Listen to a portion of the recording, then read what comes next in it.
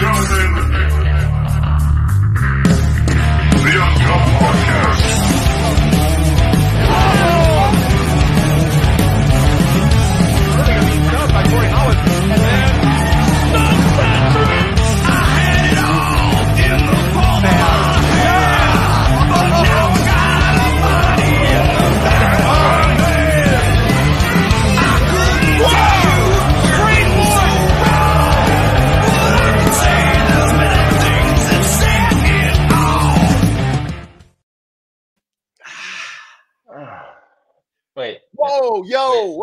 what's going on? Okay, okay. So this is kind of different, ain't it? It's a little bit different without having dad here and the inmates are running the asylum. So welcome to the Uncut Panda podcast with uh, Mr. Cutthroat. So it's going to be a Cutthroat Panda show. Uh, Robbie, how are you tonight, my man? Great. God, I hate you sometimes so much. Oh my god. This is what happens when dad's not here. I would have Uh, done it if he was here. That's fair. But for those of you who are wondering, uh, Nick is actually going to be on location in Atlanta for this weekend. Uh, so, Robbie, how was your week? Tell me what's going on, man. What? How are you? What, what, what, what is today? Thursday, of course. Yeah, Thursday. Yeah, the shit runs together. I've been podcasting all week, dude. We had uh we had uh, Matthew Hayden uh, from Yep. uh from Rugged Pro Wrestling that we just did the night before Tuesday last. night. Yeah, I did another eFed related podcast last night, but you know that don't count. But uh no, man, just living the life, working, uh you know, recuperating from 45 hours of wrestling that I watched over the weekend from Saturday to to Monday, but it was all good, all fun. Hey, nothing wrong with that. And like you said, there was so much wrestling over the last week, and seeing the amount of people, you know, that were happy about Cody, unpleased about Cody, Roman, and Brock. The fact of the matter is, is everybody's talking about wrestling, and that's what's good to see.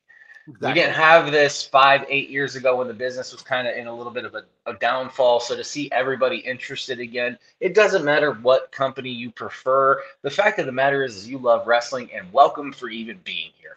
Yeah. So suck it, Nick, because I think I just did a better job hosting than you right there, buddy. Uh, One question I wanted to ask you though. Monday night, Shoot, the bud. Monday night, the Monday night Raw after uh, WrestleMania, uh, Cody opened up the show, and I was really, really digging the the way that they're going about introducing him and why he came back. And I, that's the story uh, a true wrestling fan can really get on board with, dude. I, I, I- stoked, stoked. so first of all, where's your question? Uh, that was Huh? what? Oh no, no, no. So what did you think? That's the an open-ended question there. What did you think of that? Like, That's fair. Uh, first of all, man, Cody Rhodes, he just knows how to cut one hell of a promo that makes you think of his dad as he's cutting the promo. Yeah. There's something about that Rhodes family where the believability is next level. And kudos to Vince for not giving him a scripted bullet point type of promo and just letting Cody be Cody Yeah. and speaking his mind. So it was it was emotionally powerful. Cody knows how to get the point across, and it makes you want to tune in for next week and to Yeah. see since WrestleMania that Cody's uh, theme song is number two on iTunes' rock chart. That his T-shirts are selling off the damn chart on WWE Shop and on Pro Wrestling Tee still, because he still has a Pro Wrestling Tee store right now, which surprises me. Yeah, yeah. But, But, he like- also he's as as as fire on fire as he is though, he's still getting a lot of heat from uh especially a lot of the AEW diehards. I mean, but here's it's I get their argument. Like there's a lot of people that will always be upset, but that's the same people that should be upset about Daniel Bryan leaving or you know if Kenny Omega left or whatever it may be. I get it. You know, Cody was one of the people who helped found AEW. He's not the creator. He's one of the people who helped found AEW. I get there's a lot of attachment because of that. And people get very emotionally invested to the product, and I understand that but you got to separate what's good for business and what's good for the human being as well. Cody going back to WWE was the best thing that wasn't just for him, but for his family and his legacy. He needed to go back there. And now, even if Roman Reigns steamrolls him, we'll always have that WrestleMania moment, which when he left six years ago was one of the things he bitched about. He never got his WrestleMania moment. So now he will forever have that. Yeah, absolutely, man. I can't wait to take that ride, man. It's gonna Absolutely. Be a I'm fully in. And speaking of that ride, Robbie, now I know we talked off air about how I was going to try to lead this one in, but seeing the amount of Christmas joy on your face off camera, Yeah. I would like to form. I can't believe I'm doing this. I will probably regret this. Would you like to lead our guest in? Give it to me, Matt. The, Give the it to me. power is yours on this. You know what? I find I don't even feel bad about it. Nick has his guys on that he uh, gets all hot and heavy for it, dude, and he gets giddy as a schoolgirl. So I am too, ladies and gentlemen. Our our uh, guest this week, uh, international wrestling star from WWF, but before that, Championship Wrestling from Florida, uh, Central States Wrestling. Um, uh, the old UWF, not the Herb, not the Abrams one, but uh, Yep. but uh, Watts version. The watch um, version. Yep. WWF, of course, like I mentioned, a WCW, uh, known around the world as one of, like, I think, like one of the prominent baby faces, dude. Uh, ladies and gentlemen, without further ado, Mister. Sam Houston, let me tell you something, Daddy. If you're big star bound, it's a long, hard ride. And I'm gonna take him with me from now on, baby. Perhaps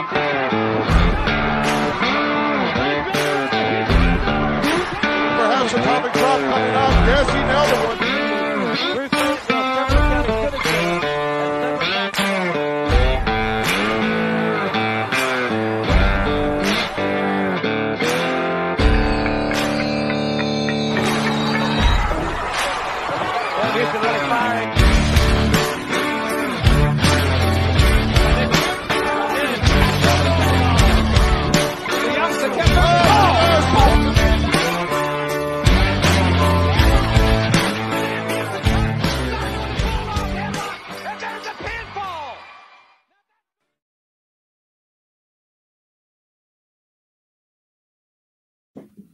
Ladies and gentlemen, Sam Houston.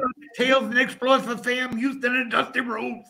See my Billy right across the sky on the edge of a lightning bolt. You know, that Did was that, awesome, dude. Thank you. did that did that video bring back some memories or what? It sure did, boy. And I was jumping again all over the place. Well, that video, that video, Matt, you want to tell tell them where that video came from? That actually came from our good friend TJ Vegas, the host of the Indie Movement, right there in the top corner. He makes all those videos for all our guests. He actually did that one very last minute for you. I think he didn't he just do that today, Robbie? Dude, I- he Oh, just wow. he just got it to me today, and I just talked to him about. He's he he needed the week off, but I told Uh-huh. him we needed a video for Sam Houston, and he come through with it. So, Wow, he did an awesome job. I want to talk to that guy. dude, I, Well- I think I can make that happen, and I we'll can get send, him in touch. yeah, I can Yeah, send you that video too. I can send you that video alone, so you can have it. But Yeah, yeah, super, man. Yeah. So how's it going, guys? It's great to be back. dude, you know, it, it's an honor to have you here, my friend. Absolute honor. And I know how excited Robbie is. And as we get into the questions, in honor of our host who's normally here with us to guide us, let me ask you a question to kind of start this off. Where where was the moment where you realized you wanted to become a professional wrestler? Oh gosh, you know, I was born into this business. Uh, I don't know. I, when I was four years old, I was I was writing my name on a piece of paper, and my grandmother come up to me. She said, "What are you doing, honey?" And I said, "I'm practicing my autograph." You know. um, but I, I knew when I was in second grade, I, you know, I was destined for this business. When I was in second grade, uh, I started uh, working out uh, with a high school uh, wrestling team, uh, Catholic High. Coach uh, Coach Barrett down in Baton Rouge, Louisiana. Because my friends that used to come watch me at the meets and stuff like that were Danny Hodge and Jim Shields and Herb Calvert and you know just different uh, Mark Todd and AAU champions. You know, but I don't think Bob Roop ever came, but um, but I, I had like you know le- serious, legitimate amateur wrestlers, and they can teach high school kids a whole lot more than uh, uh, let's say an English teacher. You know, that that does it part time. You know, but if you've got somebody that has had a, AAU championships and stuff like that to come down because one of your students or or whatever, you know, and this this was beneficial to that coach, I guess. You know, so he let me work out with the high school boys. So So when when did you uh when did you tell your dad that you wanted to be a pro wrestler and was his initial uh was his initial response to that positive or negative? Well, okay, here's the thing. You know, like I said, I was groomed for this business and everything, and my dad knew, you know, that I was going to break in. I'd been training all my life for it, you know, and uh, and he was sort of behind me. Then when I was 17, I had my tonsils taken out. And the the uh, anesthesia, as a matter of fact, I had a conversation a while ago at the church about this. The anesthesiologist was the one that messed up during the surgery and nicked my pharynx. Well, that uh, that they lost me. I, I flatlined. I was dead for two minutes. Hmm, Uh, Wow. I spent two weeks in a coma. Uh, they they had nicked my pharynx and given me gas, and the gas had gotten into my head and chest cavity and uh, caused a major heart attack or a massive heart attack. I didn't eat food that year from April the second to August the thirteenth. Oh, Um, and then uh, I was able to uh, uh, get uh, get some food down because the Superdome, uh, the extravaganza was the next night, and I wasn't going to miss that. but um, after you know, in that hospital during that stay, I dropped down from 230 pounds to 128 pounds. I went from a 36 inch waist to a 20 uh, 27 inch waist. And uh, anyway, it took me a whole year to get my weight back up. And I went and George Weingroff uh, stretched me the first time. And then the second time he couldn't stretch me. And uh, he, George was the one that told my dad he's ready. And my dad came to me and said, No, I've already lost you once. You know, I don't want to lose you again. Uh-huh. So he said, This business is not for you, you know. Um, and well, anyway, uh, I Dusty, my dad had given Dusty his big break in 1969. So you know, uh, tradition. You know, there's a lot of tradition and with some people, I guess. Well, uh, Dusty called, told me come down to Florida, and I just found out the uh, what a few months back at the CACs. I was showing up at the shows. I wouldn't have a meeting in the office, but my dad had called all the all the promoters and told them not to use me. I didn't know that. I just Really? out. and I was going to the events and stuff, and I always had my gear. And finally, JJ said, "Why don't?" He said, "Give the kid a shot." You know. Right. So While I you got- were Oh, sorry. While you were in uh, the championship wrestling from Florida, uh, did you have any interactions with uh, a guest, a former guest of the show we had on, Bill Alfonso? He was a, a ref down there. yeah. Were you there? Oh God, yes. Okay. and Bruce Thorpe, uh, uh, yeah, he's got something to do with the NWA. Anyway, Bruce Thorpe was just, uh, he was not just an announcer. I, I love Bruce to death. And I played a bad rib on him a long time ago. It wasn't, well, we were wrestling around. I was put mashed potatoes in his hair. Anyway, I want to apologize. So Bruce Thorpe, I'm sorry. I really, I, I want no ill will with you or nothing like that. We were just two young kids messing around, and you know, I got the better end of it. I'm sorry. you live and learn. Yeah. Uh, anyway, uh, so we're driving back from Miami one night. Bruce Thorpe's in the back seat. Bill uh, Fonzie's driving, and I'm in the passenger seat. Wait, wait. We're drinking our beer and everything. Well, we're going through Alligator Alley. and There's a like a 50 mile stretch from Miami over uh, west, and then you hit the Florida Turnpike and come back up north to Tampa. So, so during that 50 mile stretch, we run over an alligator. So wow, you know, we pull over. But it's it, we think it's dead. You know, Fonzie goes, I want me a pair of alligator skin, uh, alligator boots. so we pick up this alligator and throw him in the trunk of the car. Get Oh back in the no. car. Sounds like something out of a Goodfellas is about Oh, to happen. Oh, great. Well, so anyway, we throw it in the trunk of the car. We're driving down the road, drinking, big- you know, well, you know how it is on the road. So we're drinking and having fun and listening to music. We get to almost to Tampa, and all and Bruce is in the middle of the across the back seat, and all of a sudden there's a big thump, and he jerks up like, and then again another big thump. Well, then we realize that alligator ain't dead; it's still alive. Oh, so uh, we get Fonzie lived in downtown Tampa. So we pull up to Fonzie's house because that's where our cars were. We're we're leaving from there. Well, Fonzie pulls out. I think he had a 357. He pulls out a 357. He hits the trunk. Fonzie with the gun. Yeah. Oh, oh, this is a scary thought. Anyway, but we all get over there, and Fonzie goes to shoot that gator, and man, I grab his hand and I throw it up in the air, and he fires a shot. He goes, "What the hell did you do that for?" And I said, "The gas tank is right underneath the alligator." You Oh. just saved everybody's life. Yeah. Yep. Oh, you know. So then I took my belt. We took my belt. We looped it around the gator's mouth, picked it up, put it on the ground. That's when Fonzie shot it. That's when we hauled ass. Uh, we found out the next morning. Yeah, as soon as shots got fired, somebody called, and yeah, Fonzie didn't get to keep the gator. Poor Fonzie gonna have to talk Yeah. to him about that Oh one. yeah, yeah, He held out on us, Matt. oh yeah. Yeah, he didn't tell us that one at all. When we were, and we've had him on a couple times. Yeah, yeah. Uh, oh, we, we had we had a lot of fun down in Florida when I, we were there. You But- know, uh, g- go ahead, go ahead. No, y'all go. Yeah. Uh, so looking through your video there that TJ let us in with, tell us one of the better stories that you have of you and Dusty. Oh gosh. okay. And don't worry, this is uncut. You can say whatever the hell you want here. You're good. Yeah. I know, well, I know, but I don't like the. I don't like to a point, yes.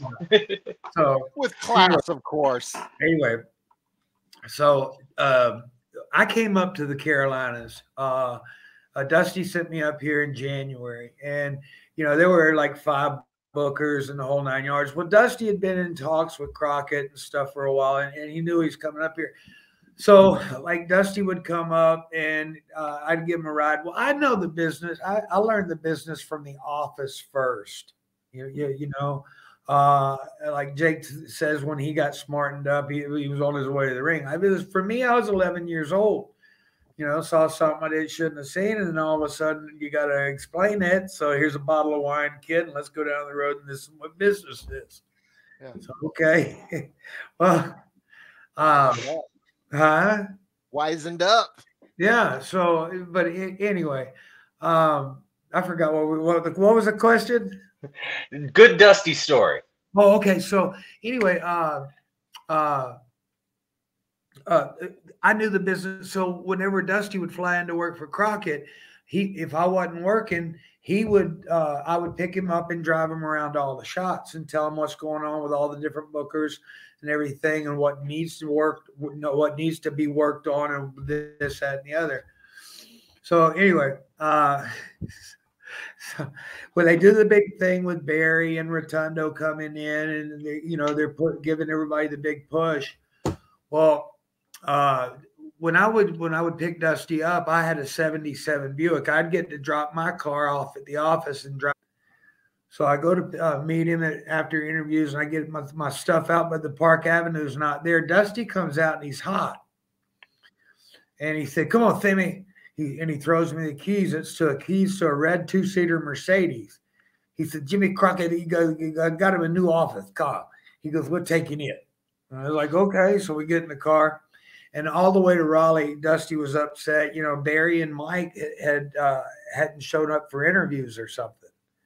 And I, that's the day that they didn't show up. And it hit Dusty really hard. So we're at the matches in, in Raleigh, and he's trying to get everything set up. And you know, and, and Dusty loved Barry and Mike. You know, so it really it crushed him. You know, Was that? I don't mean to interrupt you, but was that when the U.S. Express was that when they they they made the move to? to Vince. Yeah. Yeah, that's when they did that. So I, I was with Dusty that night. So we're sitting there. I'd already worked twice or something, showered up. We're in Raleigh at Dorton Arena, and Dusty says, "Yeah, he was mad because he he's been waiting for negotiations on this contract for Crockett, and Crockett didn't have the contract for him to be the booker. You know, and it was a big money contract, from what I understand. It was like a quarter of a million a year guaranteed. I'm I'm not for sure, but that's you know figures I've heard." Um, so anyway, uh, Dusty was you know down and, and he was hurt. Barry and Mike didn't show. Uh, uh, so he tells me he goes he goes Femi he goes baby we'll go to the liquor store get us some silver bullets a case of silver bullets and uh, a fifth of wild turkey. It's like, okay. You know, we usually drank the beer. We didn't usually, you know, we drank liquor in the bars and stuff. So I got the fifth of wild turkey and we're driving down the road and we're drinking the wild turkey. I'm driving and we're drinking beer and wild turkey and the whole nine yards. Well, I finally I got to pee. And back then, you know, you just pulled off on the side of the road, went around the other side of the car and peed in the ditch. You know? Uh, so Dusty had been, you know, he's getting, he's having drinks, he's he's getting mad. You know, Crockett didn't offer him the contract. He, you know, he didn't get the contract. Blah blah blah blah. This that and the other, and it's and it goes, and it, then it got to f Jimmy Crockett. Sam piss all over this off. He said, piss on this Mercedes. Piss on it. We turn around and we start peeing all over this Mercedes. And we pee every time we had to stop. We peed all over the Mercedes. We're laughing and peeing all over the Mercedes. So I dropped him off at the hotel. I dropped the office car off. I get my uh, Buick, and I, I drive back home. So the next, I lived in Marshville, North Carolina at the time, Randy Travis's hometown.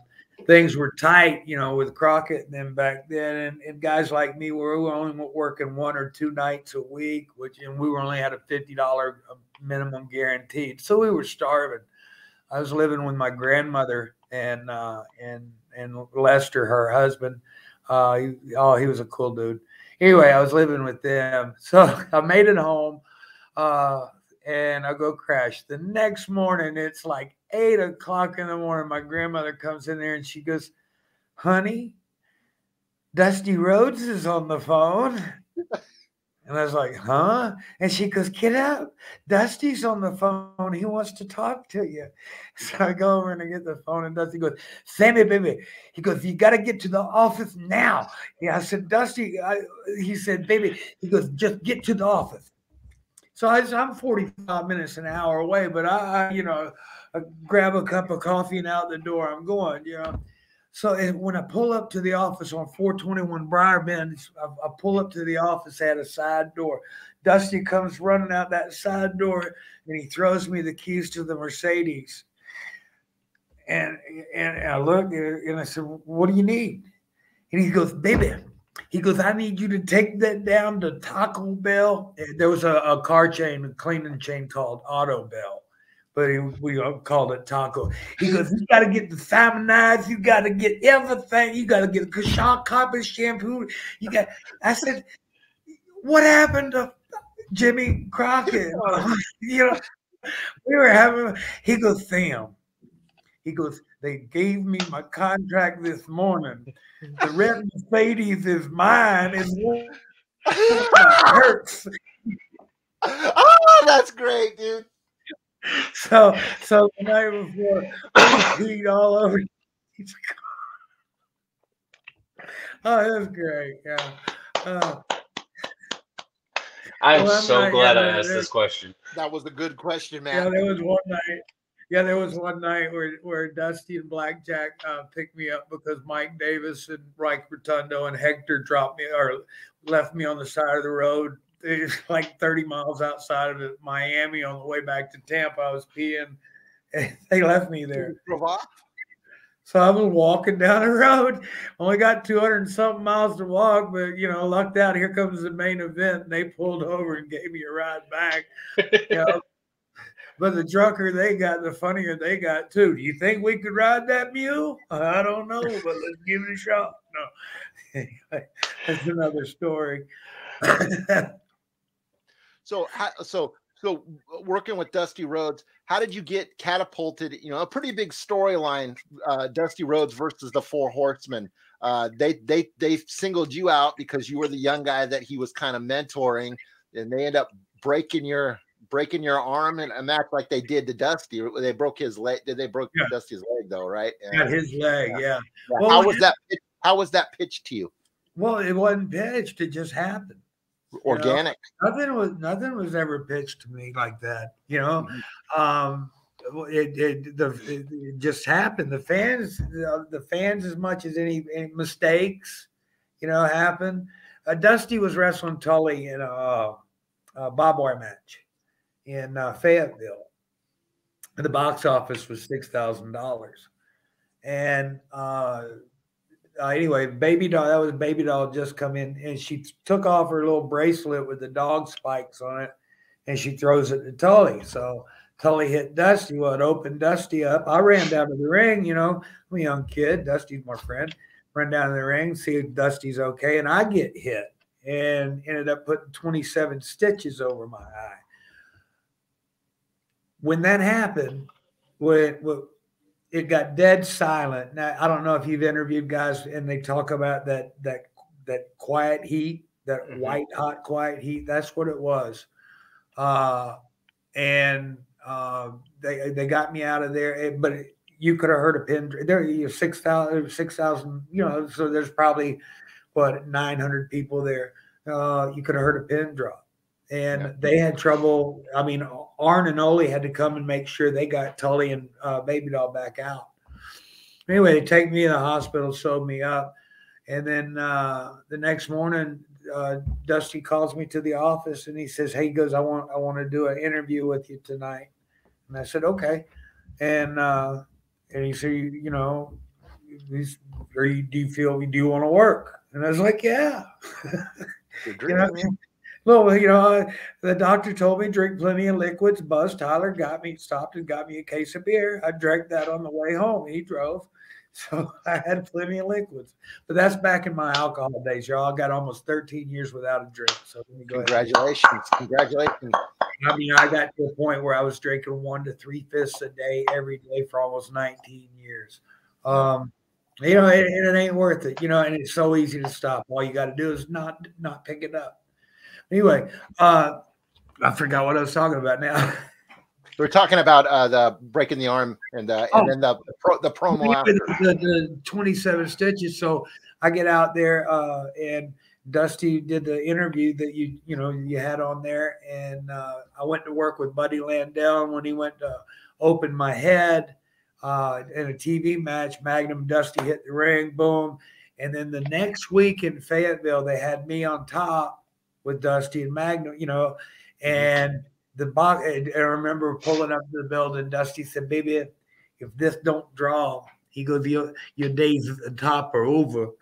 The Lord giveth, and the Lord could take it away, right? he gave me when I first started working. He said, "Baby," he goes, "I'm the Booker, and you spell Booker B O F S." He goes, "I got a little bitty pencil and a great big eraser." "It takes a lot of hard work to get your initials wrote down in the book. Can see it, baby. Get your initials raced because he didn't write your whole name. He wrote your initials."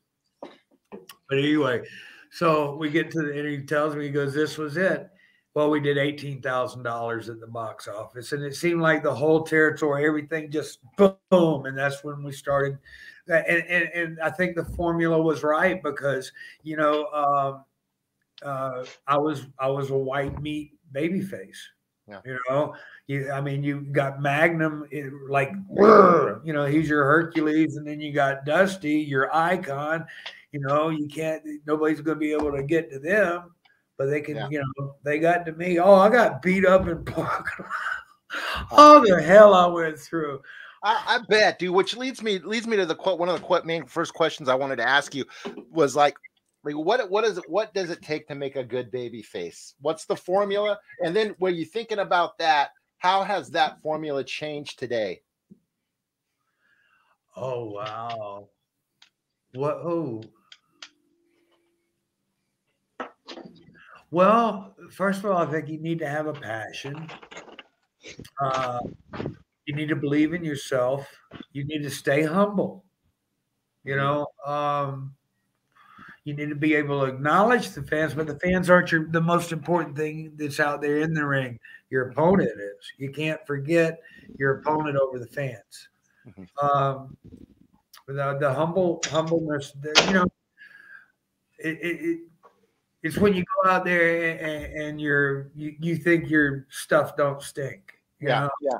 yeah. You, you- that's not you know that's not baby face material to me. Yeah, yeah, I, I I get what you're saying because back back then, like you said, it was the the the the baby faces. They knew when to turn the heat up, where the uh, anger and aggression were focused on the on the opponent.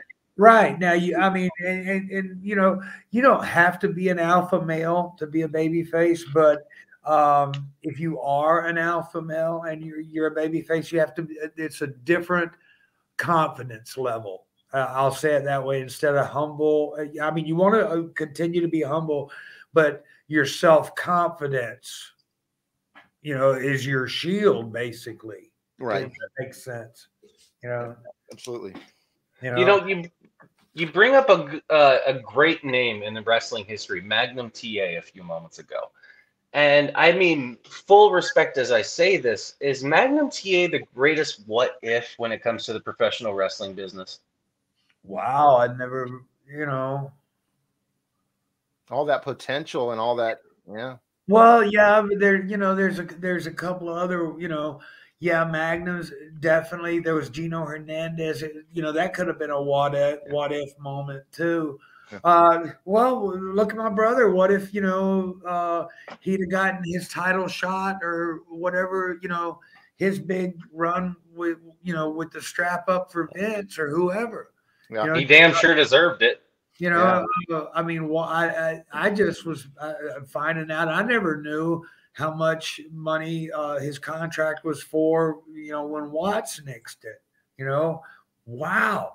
You know, I, I knew my brother was good and the best in the business, but I didn't know that kind of dough was rolling around and gra- you know people being able to grab up. Yeah. Yeah. I got I kind of got an obscure question. It's well deserved because, uh, you know, finally, if the guys are making it back, I'm glad they're making it back. You know, a lot of people say, "Oh, they couldn't have done what we did." Blah blah. blah. Well, yeah, uh, and, and you know, Bart was reminding me of the, the other day. He said, "You know, they're making all this money." He said, "Well, we're the ones that paved the way," and I was like, "Yeah, I don't have a, I don't have any animosity towards that." You know, uh, promoters are, are well, promoters are pieces. Well, you know, Yep. promoters Yep. I are great Let's all See, go. I, yeah. I think of it this way, and I, Robbie, I'll let you get to your question, but I want to piggyback on what you were saying, Sam, because you're dead right. Uh, especially with the people from the past and comparing it to their business now. If it wasn't for so many of the legends and so many of the people who helped knock the trees down in the forest, there wouldn't be a way for the new generation to pave the asphalt for the roadway. Right. You know, good way to put it. yeah, and, and here's what hurts me. Okay, the okay, these guys are making the big bucks, let's say, um, but like Alpha, I, I've been down to the school at WXW when I was down in Florida a couple years ago. And look, if you're going to train, I mean, there's a there's some good training facilities out there. Office is one of them. Brad Lodi Kane is another one here in Matthews. I like to work out there. Um, you, Ricky Morton's got a great school, uh, but uh, um, oh shoot, I forgot where I was going with that one. I'm sorry. You're Uh, okay. Plural sometimes. Um, what was your question? What was That was your, question? that was your question, Matt. Oh, it was my question. Oh, shit. Oh, God. See, I'm in the same boat as you now, Sam. I had a long trip. I drove. We drove 2,800 miles. Now, let me tell you guys, um, the way to do it, okay, is you do that whole trip. I drove all of it except the last two and a half hours. I let my wife catch that part in. You know, 2,800 miles. Because what you do is you get the work in there, and then you give the gravy to somebody else. Smart man. That's hey, y'all haven't asked me about this thing, right? Oh, this. What do we got there? Oh, that looks like a United States Championship belt there.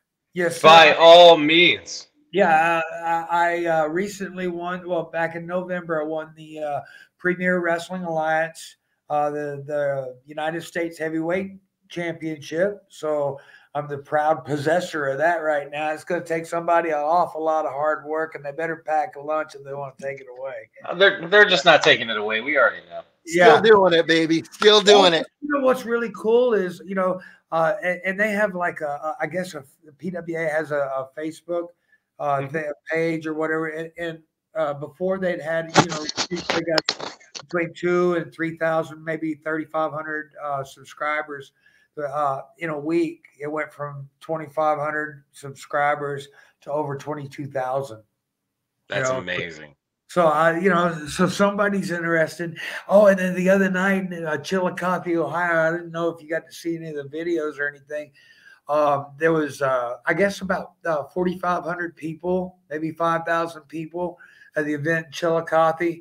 And Bobby Fulton came up to me at WrestleCon and he said, Sam, he said, he goes, it was all you. He said, you stole that. And I was like, well, you know, just doing my job.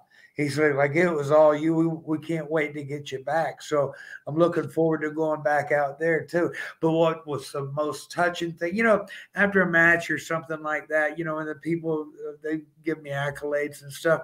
I want them to give the accolades to him, to give him, give it, oh, please give it to the give it to the give it to the one that that strengthens me you know give it to the one that lives through me give him all the glory because he's the one that makes me get up and want to be better every day than i was the day before You know? Amen to that. And I, agree hundred percent. you know I, I- yeah i see people are hurting and you know and you got to go through pain i've been paralyzed twice i've been dead a whole bunch of times they keep resuscitating me i i, I gotta You down, eh? Yeah, yeah. And I died when I was 17. I, I, I drove a car off at 32 between two bridges, went straight down, landed uh, on the nose. The car wrapped up around me like an accordion.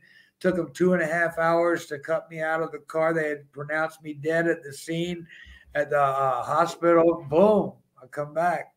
Man, Uh, I've drank myself to death a couple of times, you know, but I've been lucky enough to be able to get, you know, and, and it ain't worth it, y'all. Uh, there's so much out there, and you got to make the most out of every day, you know, and you got to move forward. Do a little bit more than what you did yesterday. You know, if you're if you're afflicted with, uh, if you've got some affliction and you can't move around well, just move around what you can today and a little bit more tomorrow, and push yourself a little bit more, a little bit more and you, it won't take long to see how far you can go. Hmm. You know, absolutely. Well, let's fast forward in time a little bit. Let's go to 1988. A Okay. new match, a new match concept called uh, the Royal Rumble is uh, pitched to, to I, I believe Pat Patterson invented the match, Yep. right? Uh, I guess I don't yeah. know. you were one of the you were one of We all, we all thought it was a battle royal, and we get there and it's like every two minutes. And then, boom. Okay, okay. So now you're figuring out what number you are, and then how long you got to wait, and then how long you got before you, because they got it all mapped out. yeah. it was something, you know, and it was it's it's kind of cool for me because I was in the very first one. So you know, in the next year or a few, if Yeah. they keep having them, um, they'll eventually get around to me, and maybe I'll do something. Get maybe I'll pull a swerve, pull an Andre. No, I'm There you Okay, now that was the, the first. The, a lot of people they don't know. A lot of people that newer fans, dude, they don't realize that like how they had the big four pay per views per year. But but the Royal Rumble that was um they actually had that first Royal Rumble. That wasn't. I don't even think that one was televised. It was televised, right? yeah, it was televised. It Yeah. wasn't on pay per view. It was the '89 one that was the first time it went to pay per view, right? I think so. Yeah, Yeah. it was on Right. US. It was live on USA. First one was tele- televised, but it wasn't. Yeah, it, I- don't think it was a pay per view. Now I, I I haven't like I haven't rewatched the match. I probably haven't seen that match since I watched it then. Uh, but I, I have this this image in my head of you having an interaction with uh, Harley Race in the in that battle royal. I probably did. I don't know, but I will tell you the Harley Race story on about. Oh, love it, love one. All right. Harley Race, when I was a little kid, used to scare the snot out of me all the time. He jumped off a 15 foot ladder on my dad's throat when I was a little kid. My dad wore a neck brace everywhere, you know, for all this time. I was scared of Harley. Well, anyway, so now I'm wrestling, and now Harley and I, I guess, are, are you know, we're professional, blah, blah, blah. Anyway, so uh, we're in Knoxville, Tennessee, and then we're having a battle royal. And back then, you know, you used to, ah, what number are you? Okay, I'll see you later. You know, and you go on to the next guy. Nail him. Okay, yo, what number are you? Okay, what number are you? So anyway, Harley comes up to me and he goes, I was standing in the corner because I learned a long time ago in a battle royal, the safest place to be is in the corner because people fall down on, you know, they don't, some guys, if they're green, they don't know. You don't take bumps in battle royal because they'll fall on your knee, you take a knee out or something. So Harley walks up to me in the corner and he goes, Hey, kid. And I said, Yeah. He goes, You know how to get somebody out of a battle royal when they don't want to go? And I said, No. And he reached down and he grabbed my testicles and he squeezed and twisted, and I shot like a rocket. Woo! Clean out of the ring, you know, second row. Oh, and I was home and sitting back there looking at him, and he's standing in the corner going, ha ha. Oh, man. Harley was something else. Matt. Oh, I, I was gonna. Okay, let's skip ahead. Like, let's go to let's go to eighty nine. Let's go to WrestleMania. WrestleMania five. Trump Plaza. I've heard other interviews from guys that were uh, part of the roster during that time and a part of WrestleMania. You were in. The, you were in a battle royal at WrestleMania, right? At WrestleMania four, I was in, at WrestleMania five. I was uh, uh, wrestled Honky Tonk Man. Right. So, so I wanted what I wanted to ask was like. I've heard other wrestlers say that Donald Trump really laid out the red carpet for the for the WWF guys. Oh, Uh, he did did, have- yeah. Yeah. Did you have any interactions with uh the Mr. President Trump? Oh no, I I mean I, I walked by, I saw him and I shook hands. I mean, Uh-huh. you know, I, I didn't bow down and kiss his ring or nothing like that. You know, Yeah, but were like nice suites and like they laid out. oh like- yeah, yeah, we top of the line, top, you know, and, and everything was laid out. Jake at WrestleMania four put his snake on Ivana. Yeah. Uh, you know, so you know, I was going to write him for a pardon while when I was in prison. You just see if, yeah, you might remember me. I'm the guy. who, Uh, that- hey. yeah, yeah. I'm the guy. Uh, I'm the brother of the guy who put his snake on your wife at WrestleMania four. Uh, no. No, but you know, I think he did a wonderful job. I don't know if anybody watches my stuff, but um, this country right now is is in is in a bad way. You know, Oh, yeah.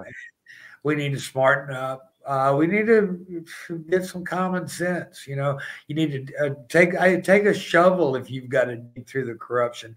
But you all we already all know all the corruption. Everybody's filthy, you know, rich, blah blah blah blah blah. Audit everybody in Congress. If you're getting rich insider trading, what uh, uh, Martha Stewart went down for a couple of years for that, right?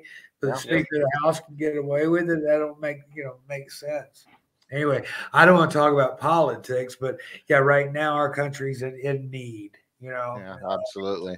and I hope somebody steps up to the plate, you know, for and uh regardless of that, the main thing I want to stress to everybody, I don't care who's in control, you need to have a personal relationship with your creator.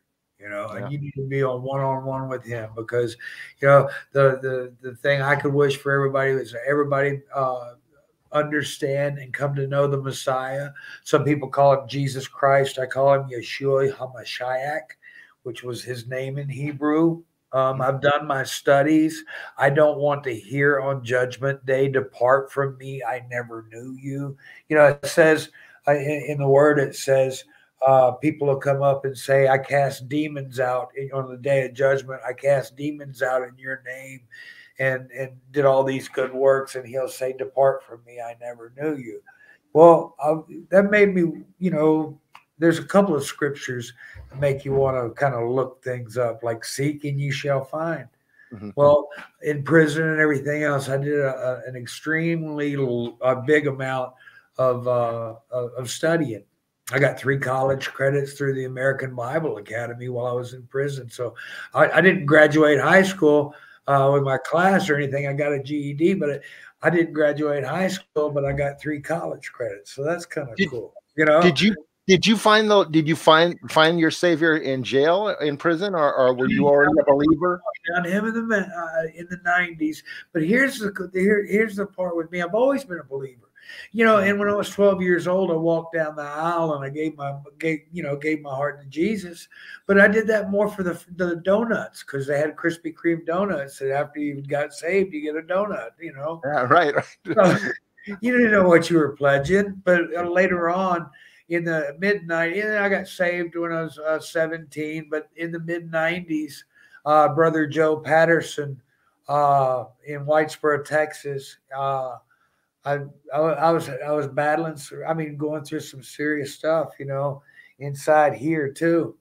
Yeah. You know, because it's it's hard when uh, when all you've known is this business, and all of a sudden the lights aren't on you anymore, or just the different things. And and I was I was drinking a lot. I was my heart was troubled a lot of stuff going on and uh, i went over there and brother joe led me to led me to the christ that night and um, i believed however I, I didn't live for him. I didn't live to honor him. I still did my thing you know? Uh, now now i i live to honor him. I, I, I want to make him happy. And if i can help somebody else i get so much joy out of helping other people. I mean, it just makes my day because you know everybody else in the world can say what they want to, wrestle, blah, blah, blah, blah, you know, you know. But that one person, you touch their life today. You know, you're gonna be the greatest thing in the world. Nobody's gonna ever be able to tarnish that. You know. Absolutely, man. You know, I I, I know we're going to be starting to wind down here, and I want to ask you one more question before we tail this off here. As you've looked back from now through all the way to the beginning of your career, if there was one big piece of advice where you could have looked back and said, "Damn it, if you would have just did this," what would it have been? Oh wow. If to be honest, nobody ever asked that question. Um, but the big thing, if I could have quit drinking a long time ago, nothing would have stopped me. You know, I'm 58 years old. Oh, and this was going to tell you about the, the other night in Chillicothe. I usually get a, get on the microphone after a match and and and and, and give honor give honor to the master. Um, and I ask the people to do the same thing. And uh, the other when I went to go start, I, I hadn't even started on the microphone yet, and the people started chanting, "You still got it," and it and it just kept getting louder and louder and louder, and that was just so overwhelming overwhelmingly gratifying. Almost cried. I did well. I didn't cry in the ring, but I did. I think I did shed a tear on my way home. My wife and I were talking about it, and I was touched. It meant a lot to me. So, Norm, God, this is so weird not having Dad here to guide us. Still, this, Seriously. Robbie? It is. so we You're always we always wind the show down by letting our guests end up going full screen and say whatever they want if they want to promote any social media any matches coming up whatever message they want to talk about and i know you and i and robbie were talking off air about a specific message you wanted to talk about but the next couple of moments the floor is entirely yours man and on behalf of myself and robbie it's been an absolute honor we can't wait to have you back on again with us my friend. Oh yes, definitely. Yeah, definitely. We always say this, but uh, and, and we always say it, but we always mean it, dude. Definitely going to have you come back for a part two if it, if it's convenient for you at some point in time. But uh, but yeah, I'm going to give you the floor now here, bud. Okay, you gonna put that link up for me? Sure. yes sir Uh, Thank you so much. Hey, uh, folks, I, you know, I, yeah, I've got stuff that I, would like to get out there and, and say to you. And Uh, over the weekend, um, I got some really heartbreaking news. Um, a lot of the wrestling fans know that uh, Wahoo McDaniels and I were good friends and stuff for, for a long time. Well, I just met Nolan, his son, last year. Um, Karen, Wahoo's wife, uh, brought Nolan up to uh, the Fan Fest in Charlotte. And uh, I didn't know Nolan. I haven't known Nolan for a long time, but that instant I met him, I knew him and he knew me. Nolan had a gentle heart and a strong spirit. Uh, over the weekend, uh, Nolan passed. Uh, you know, and it knocks a lot out of you. Uh, my my deepest condolences are out to Karen and and, and Zach. I love you guys. Uh, they've set up uh, some friends set up um, a GoFundMe to help with Nolan's final uh, final oh his funeral expenses and stuff. You know, the need goes further than that though.